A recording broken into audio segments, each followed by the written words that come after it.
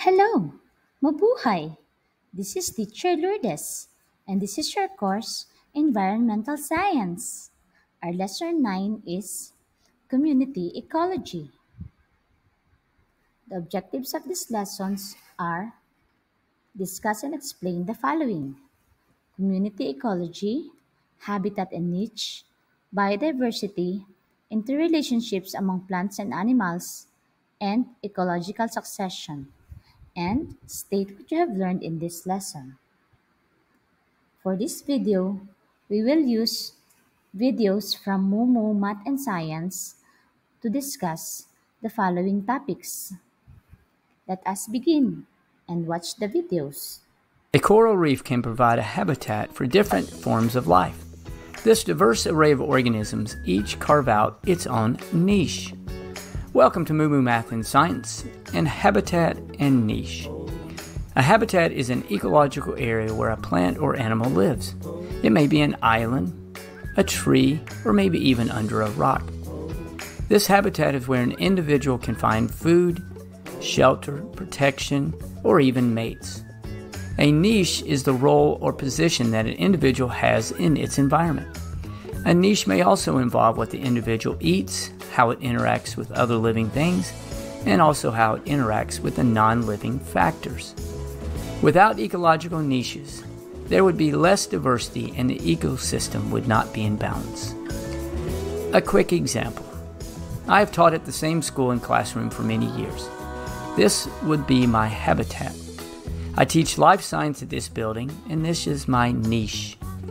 Miss English teaches English, and Mr. K teaches social studies. We all live in the same habitat, the school, but we all have our own little niche. Let's take a look at some real world examples. I live in a deciduous forest. Plants and animals occupy the same areas. Some animals, like the woodpecker, and several other species of bats, feed on insects. This helps to keep the insect population from growing out of control. Other animals, like a squirrel and chipmunk, could be considered spreaders. When they gather and store seeds and acorns and even berries, some get left behind, and some also get left behind after going poo. These seeds, like the blackberry bush, will grow into plants that provide food for other animals. The niches of plants and animals help keep their habitats healthy. Let's look at another example. The Galapagos Islands are islands located 605 miles to the west of South America.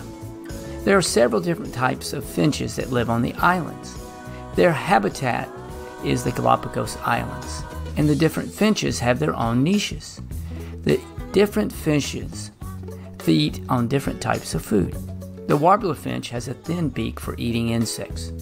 A ground finch has a short beak for eating seeds left on the ground. Cactus finches eat cacti seeds. Each finch has its own niche that allows them to survive and prosper in the same habitat as the other finches. Animals and plants all have very special roles to play in their communities, and the niches they fill help keep their habitat healthy. If you'd like to know more about habitat and niche, this playlist will help. And as always, thanks for watching and Moo Math uploads a new math and science video every day. Please subscribe and share. In 1988, Yellowstone National Park was on fire. Fires burned throughout the summer, destroying trees and vegetation. In the end, over 795,000 acres of land was burned. If you return to the same spot 10 years later, you could hardly tell the land had been burned. The variety of life found at Yellowstone allowed the ecosystem to recover and is an example of why biodiversity is important to an ecosystem. Biodiversity is the variety of life in an area that is determined by the number of species in that area. In simple terms, biodiversity is the number of different individuals and life forms in an area. As biodiversity increases, so does the health of the ecosystem increases. Think of it like this you're running a business. You want your business to be healthy and make money. Imagine you sell shirts. However, you only sell a black shirt with a heart on it, so you're limited. If these shirts go out of style, you're out of business. If you have a variety of shirts, as fashion changes and tastes change, you're better able to adapt to these changes and continue making money. As biodiversity increases, the ecosystem has the ability to adapt to changes, and a healthy ecosystem has a greater chance of recovering from disasters. Biodiversity can be broken down into three types genetic diversity, species diversity, and ecosystem diversity. Genetic diversity is the variety of genes which control inheritable characteristics present in a population. For example, the population of beetles have over 350,000 different varieties and are found in almost every environment, including freshwater, coastal habitats, wherever vegetation is found, in trees, in their bark, near flowers and leaves, and even underground near the roots. Also, think of the variety of dogs. You have different shapes and colors of dogs, and these are controlled by genes, and they either increase or decrease genetic diversity. Greater genetic diversity increases the odds of survival of a species or a population as the ecosystem changes. Species diversity. Species diversity is the number of different species and the relative abundance of each species in a community. A rainforest may have 3 to 50 million different types of species living in the forest. As species diversity increases, most likely the health of the ecosystem increases. Ecosystem diversity is the variation in the ecosystems found in a region or the variation in the ecosystems over the whole planet.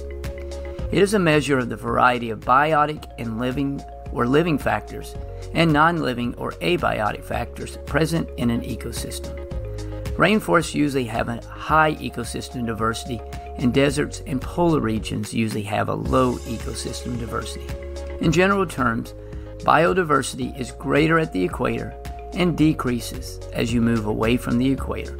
So, in summary, as the variety of life goes up in an ecosystem, biodiversity increases and the health of the ecosystem also goes up. Thanks for watching, and Moo Math uploads a new math and science video. In 1988, Yellowstone National Park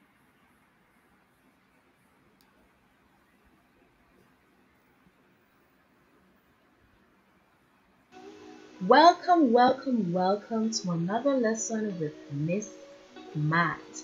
Now, today we're going to look at the topic interrelationships of plants and animals. What does it mean by interrelationship of plants and animals? Interrelationship of plants and animals has to do with how plants and animals are related.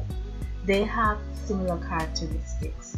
In order for plants to be pollinated, the pollination has to be done by other animals or animal pollinators such as bees.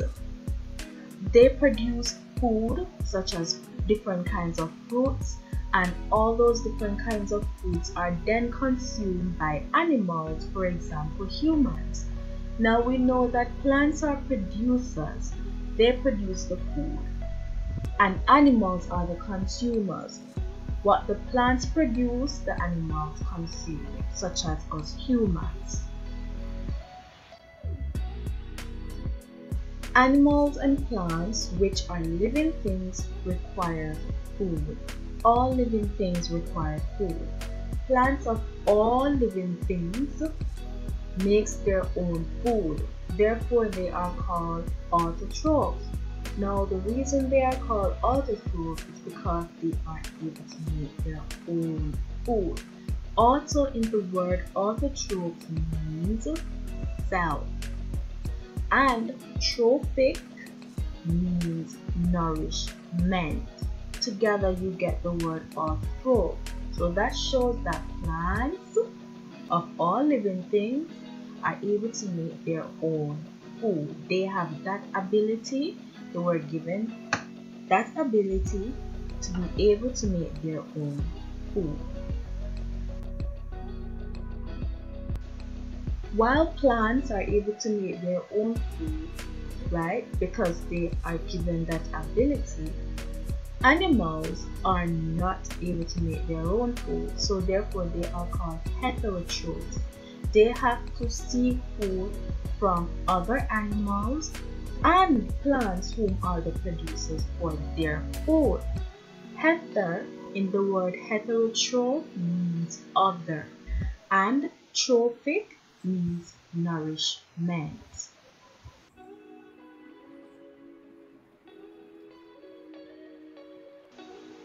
Now we're going to look at the three different types of animals, the three different types of feeders that exist in society. There are three different types and we have herbivores, carnivores, and omnivores.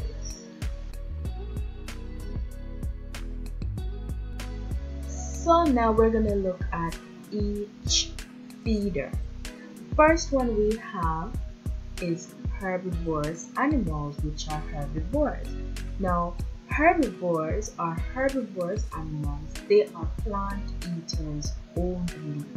They only consume plants. For example, we have the cow, and we know that the cow consumes grass. Now we're looking at carnivorous animals, which are known as carnivores. There are two different kinds of carnivorous animals. You have the first set who eat other animals who only consume plants. Then you have the other animals whom they eat that only eat fleshy food.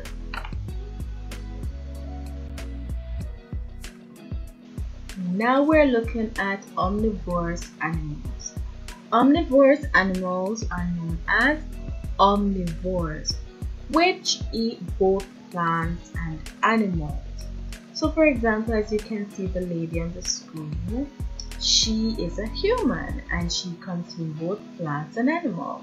So for example, we eat cabbage, a plant, and we also eat chicken or we eat fish, which is a animal. So omnivorous animals eat both plants and animals. Simple food chain showing the interrelationship of plants and animals.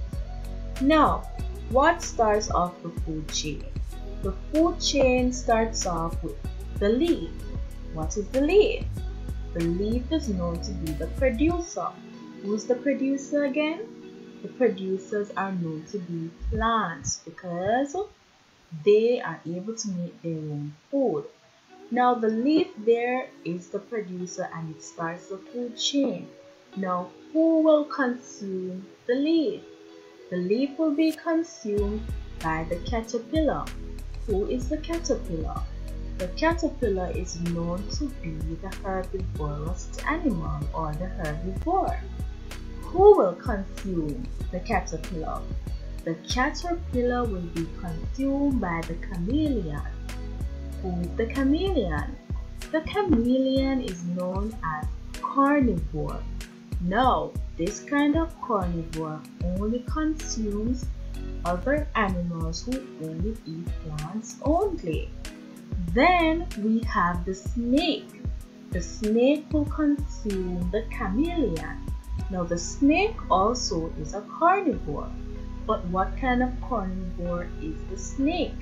The snake is a kind of carnivore who only eats fleshy meat. Then we have the mongoose. And the mongoose will eat the snake and the mongoose is also a carnivore.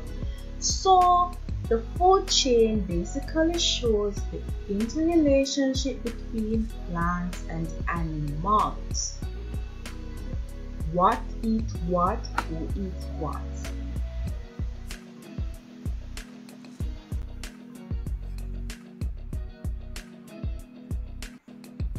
Our world is constantly changing. New islands are being created, fires burn in forests, Volcanoes explode and destroy areas. Nothing remains the same, and habitats are constantly changing.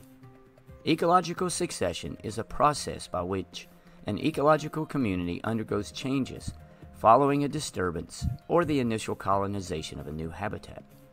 For example, the islands of Hawaii were formed from volcanic activity. From their fiery start, over time they became tropical islands.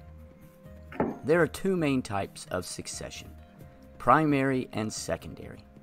Primary succession occurs in new areas that have little or no soil. In other words, the area has been almost completely destroyed or is newly formed. For example, new islands can be created from lava flows. The lava creates a new land without soil. A volcano may destroy a very large area. This would be an example of primary succession. Over time, dirt is formed, plants begin to grow, and a forest or a grassland may return. The first species that colonized this new land is called the pioneer species. Lichen and moss are many times pioneer species. Secondary succession occurs when an existing ecosystem has been destroyed or disturbed. They are more minor in magnitude compared to a primary succession. For example, a forest fire may destroy a large area of trees and plants, or flooding can destroy an area.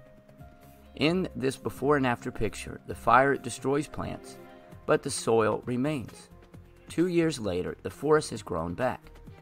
Here is how secondary succession may occur fire destroys plant growth. The fire leaves behind empty but not destroyed soil.